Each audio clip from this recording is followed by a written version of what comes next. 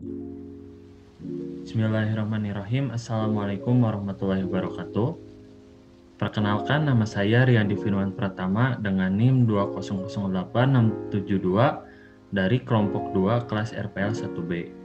Pada kesempatan kali ini, saya akan mempresentasikan mengenai esai yang telah saya kerjakan, yaitu tentang drama kehadiran VAR atau Video Assistant Referee dalam sepak bola.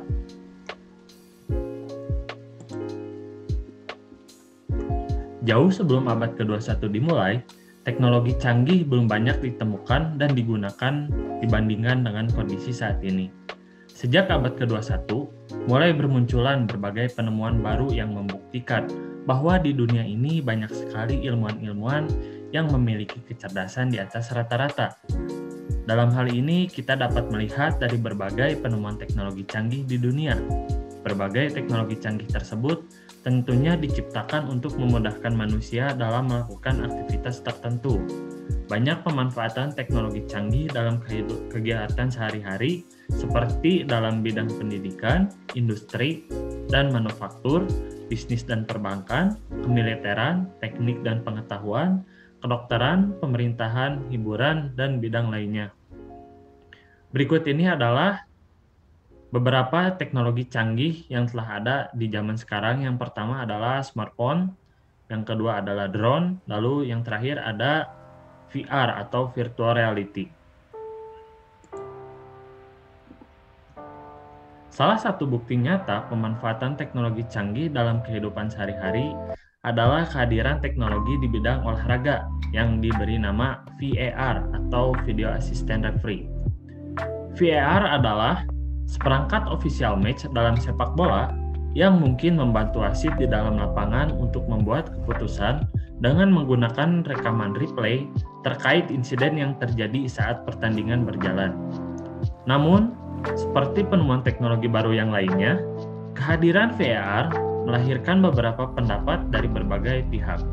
Di satu sisi, VAR dinilai dapat menghilangkan atau mengurangi tingkat kesalahan atau kecurangan yang terjadi di dalam sepak bola, baik yang disengaja oleh pemain ataupun berdasarkan kesalahan pengambilan keputusan dari pengadil lapangan atau wasit. Sedangkan di sisi lain, banyak yang merasa kesal akibat kehadiran VAR ini. VAR dinilai mengurangi nilai seni dan drama yang ada di dalam pertandingan sepak bola. Lantas, seberapa pentingkah kehadiran VAR dalam sepak bola? VAR adalah seperangkat ofisial pertandingan sepak bola yang mungkin membantu wasit membuat keputusan dengan rekaman, replay, hanya untuk kesalahan yang jelas dan nyata atau insiden serius yang terkait dengan gol atau tidak gol, penalti atau tidak penalti, hukuman kartu merah, atau kasus identitas yang keliru. Kata asisten di tengah singkatan kata VAR memang dikaitkan dengan fungsi teknologi tersebut dalam membantu wasit, yaitu untuk melihat dan mengamati jalannya pertandingan sepak bola melalui sebuah video. Hal ini digunakan untuk menghindari kecurangan yang biasanya terjadi di lapangan.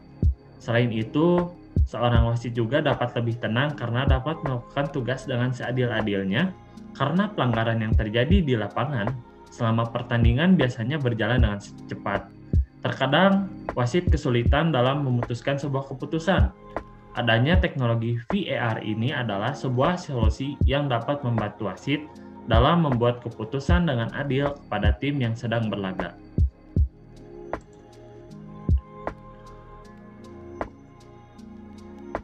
Basic dari teknologi VR ini adalah ketersediaan kamera.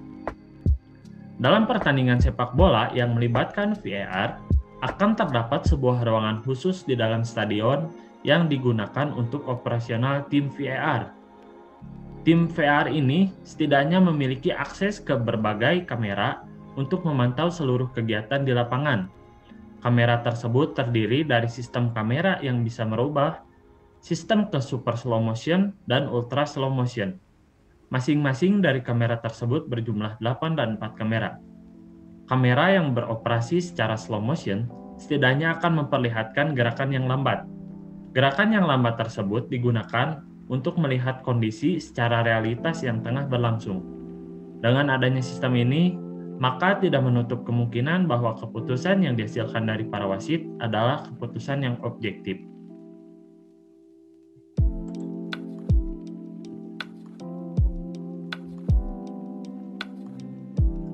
Kondisi khusus tim VAR. Tim VAR akan memberikan masukan kepada wasit di lapangan jika terjadi kondisi khusus sebagai berikut. Yang pertama, memutuskan gol atau tidak. Yang kedua, memutuskan penalti atau tidak. Yang ketiga, pelanggaran kartu merah. Dan yang terakhir adalah salah identitas pemain.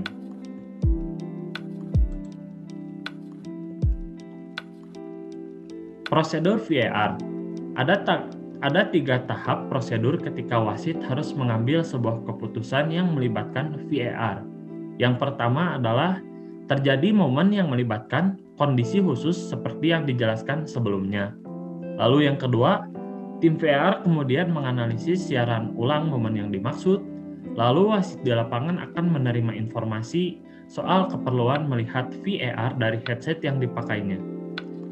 Yang terakhir, wasit akan memutuskan tindakan apa yang akan diambil. Artinya, VAR hanya memberi rekomendasi ke wasit, dan keputusan wasit masih di atas segalanya. Jikalau masih was, jikalau wasit memang ragu, wasit akan melihat monitor di tepi lapangan untuk melihat siaran ulangnya.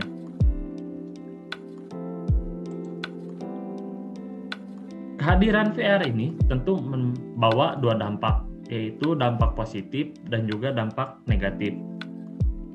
Pembahasan yang pertama adalah dampak positif.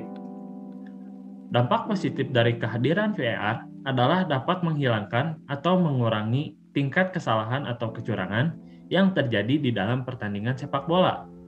Wasit akan terbantu dalam pengambilan keputusan yang seadil-adilnya, sehingga tidak akan ada pihak yang dirugikan.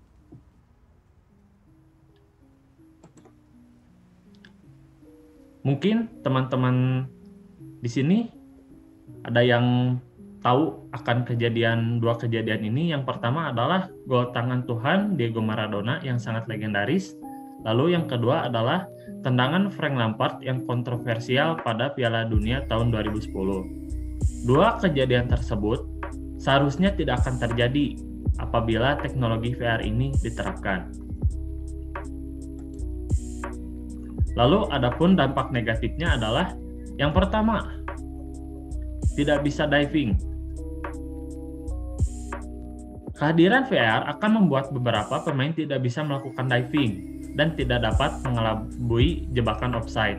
Hal inilah yang akan membuat pertandingan menjadi terarah, lurus, dan terkesan monoton. VR membuat keputusan gol tidak tergantung dan mutlak dari keputusan wasit. Karena sebuah gol dalam proses pengesahannya harus menunggu tayangan ulang dari VAR. Dalam beberapa laga di Liga Inggris, VR membuat keputusan untuk membatalkan sebuah gol yang telah terjadi sebelumnya. Contoh kasusnya adalah kasus posisi offside Roberto Firmino yang tertangkap oleh kamera VAR.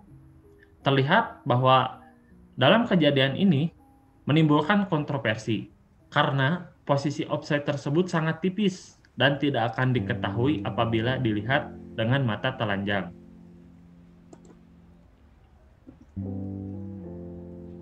Kesimpulannya adalah perkembangan teknologi akan terus terjadi. Setiap waktunya akan tetap ada kemunculan teknologi-teknologi terbaru yang lebih canggih.